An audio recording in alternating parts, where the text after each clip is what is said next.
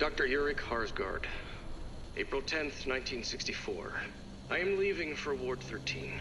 The experiments of Ward Prime have proven informative. But we are exploring more promising avenues in the other wards. Starting with subject 2409. Dr. Itzaso says the Dreamer has successfully connected, the first of our Dreamers to do so, and his vitals are stable. Let us see what he sees. From Ward 13, I will also be able to visit the rooms more easily. I learn more every time I investigate them. Even reading the same passages over again, I see connotations and meanings I did not notice before.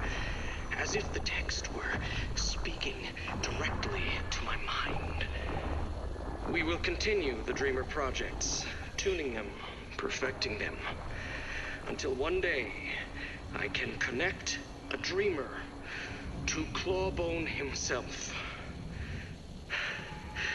I can feel him waiting on the edge of perception. He whispers to me, touches my dreams. I must speak with him. He has the answers we need.